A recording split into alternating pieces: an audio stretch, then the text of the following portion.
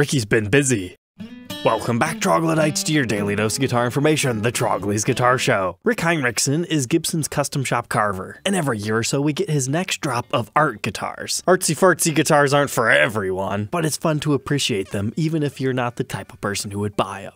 Our first one is known as Henna 1. It's a pretty interesting Les Paul custom. Gibson got him a better wood burner tool, so he wanted to make full use out of it, as that is the medium that was used to create this. So his process would start, he would draw all this on and then go through with his wood burning tool to make all these interesting designs. So it will have a slight textured feel to it. But I see a couple of flowers, kind of like some basket weave and stuff. But I love the optical illusion that he's created over here. It doesn't even look like there is an edge right there, but you still have the Les Paul Customs binding layer matched to the side with this kind of toothed design. I'd actually say I'm a bigger fan of the edge of this guitar than the top because it's very satisfying, nice and repeating. The Gibson Gear Guide actually has a video showcasing these guitars a little bit, so feel free to check that out, but you can kind of see how it is textured. Then if you noticed, even the pickup covers are matching. Now, are those wood burnt? No, they're just regular and he painted them and they're all lacquered up. But what I feel these stock photos don't capture that their videos did is it's still a nice glossy finish on top of it. This nearly looks like an unfinished Les Paul, but when you get that whole light sheen on it from the gloss top, that's when this one really comes to life. But the backside of the guitar, it's fairly basic, has very nice wood grain, but we do have a little bit of a tattooed design at the heel, which is something that he likes to do on many of his art guitars. Like, for example, here's one where he did a fish relief carving, but people on the internet like to say, isn't that going to affect playability? And, you know, maybe a little bit, so that's why this one just appears to be flush with the design of the neck. Very cool use of wood burning and paint. But just like his previous release in the Master Artisan collection, this one comes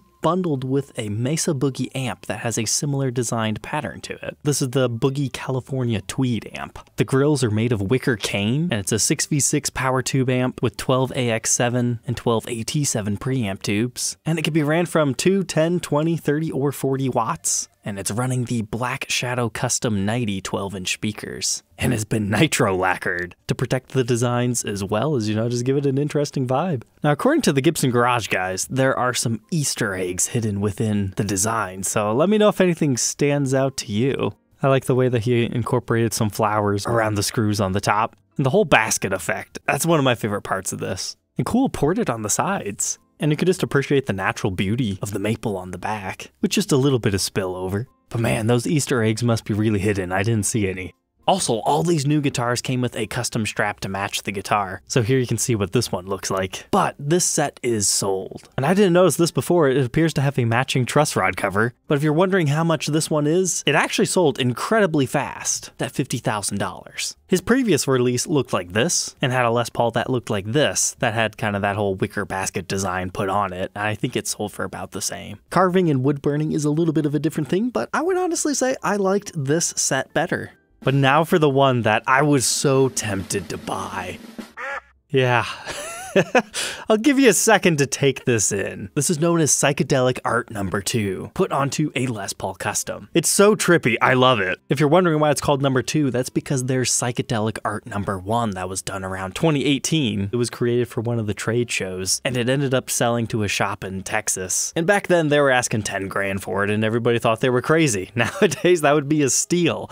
I was a big fan of this, because up close, yeah, it's just a bunch of rainbow colors and a swirly design fine, but the whole thing was painted, including the matching tuner tips. The farther away you get, it just starts to become a static mess. Now, word on the street is Gibson actually bought it back from that dealer for their own personal collection. Now, whether that's true or not, I don't know, but here it is, number two. So this one's psychedelic in a different way because you have a repeating circular pattern with a crescent shape in it. Kind of reminds me of like peacock feathers. We got the large circle, a small circle, and then like your whole semicircles, and then it just repeats a million times. and then you've got a white dot into a blue space area in between there, and it's just repeated on the entire guitar. I cannot imagine hand painting this. It would be so monotonous because I even did the back. But at the end of the day, I think it's worth it, especially when you see the headstock. The garage sent me this, and it really helps you appreciate it even more in this photo. Absolutely love the fact that he did the whole black outline around the mother of pearl.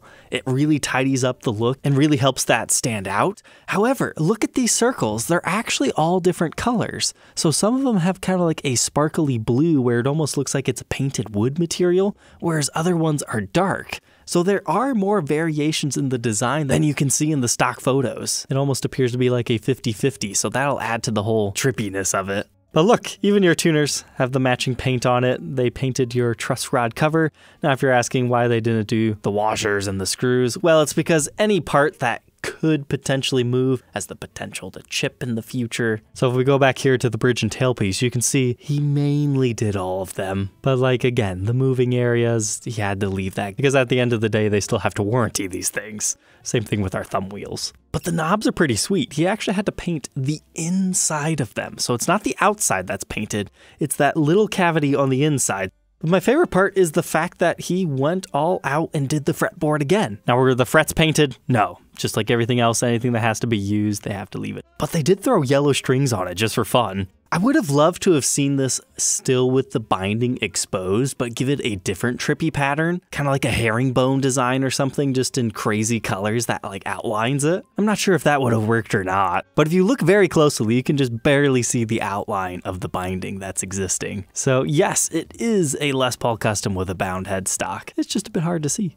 But here's a look at the matching strap for this one. Maybe not as boisterous, that's because the paint looks different on varying surfaces. But how much is this one? $25,000. Which again, for, you know, crazy art guitars, it's one of the more reasonably priced ones. That's why I was really tempted to pick it up for a full review and documentation, but it's not something that I could afford to keep right now. But if anybody wants to new guitar day it, I would love the opportunity to see it in person. I like the psychedelic art series. Can't wait to see what he comes up with next.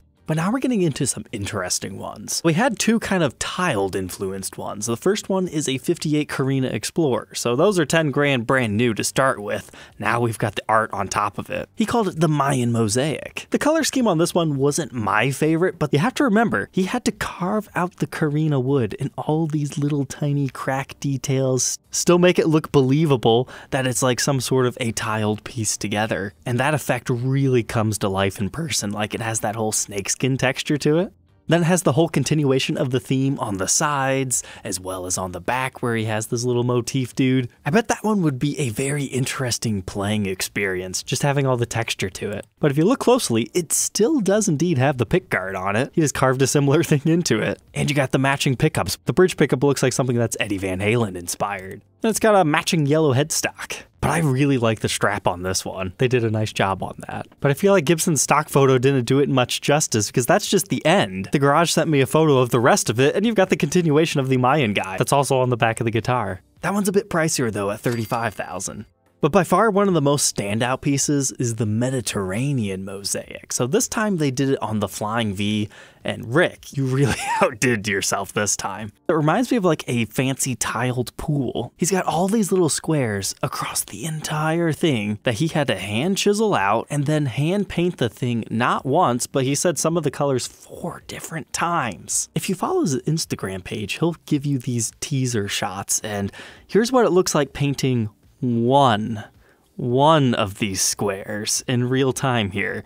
And imagine, you know, if he gets some paint in the crack, you gotta take a toothpick, get it out, just be really careful. He's working under a microscope here, and he had to do that multiple times for each one. Talk about tedious, but the end result is fantastic. They put this like cool swirly design over here. Then you got some triangular ones, then a bunch of zigzags. This is like a nice blending of that Explorer and the psychedelic one together in a really nice palatable color scheme. But check out the headstock in regular photos. Even though Flying V's usually aren't bound, he has this nice border going around it in black, and then you kind of got a triangular flight pattern design with all the colors. That worked out fantastic with the big gaudy Gibson logo. And of course, we gotta throw a flashy truss rod cover on it too. Now, we didn't go crazy with the fretboard or anything, so it still looks fairly traditional. But yes, we do have the rubber guard. And then we didn't even get to see the back yet. It's got more of the swirly designs and other optical illusions. That one kind of looks like a piano.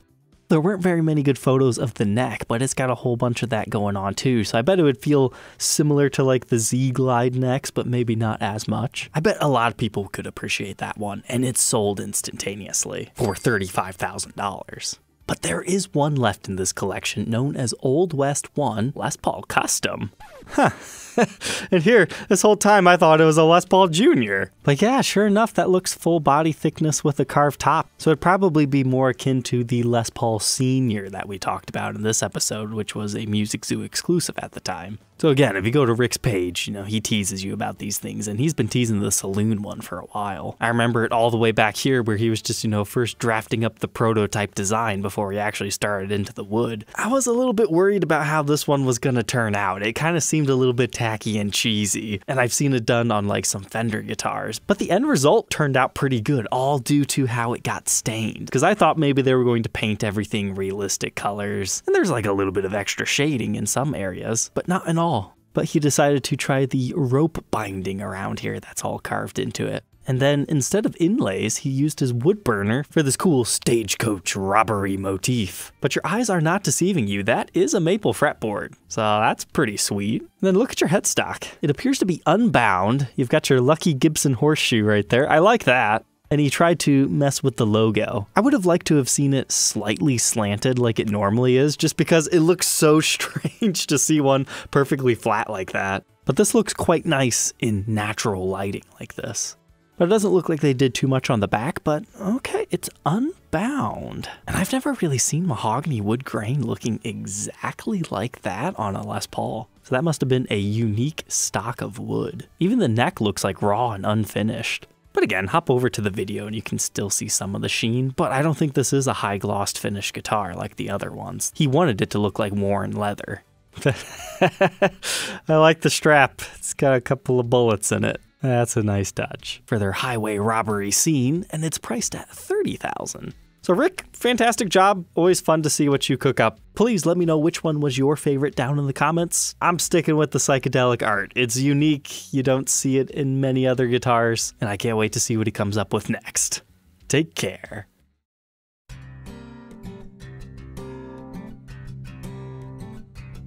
If you enjoyed tonight's episode, consider subscribing. I post videos like this every day. And you might even enjoy this next one.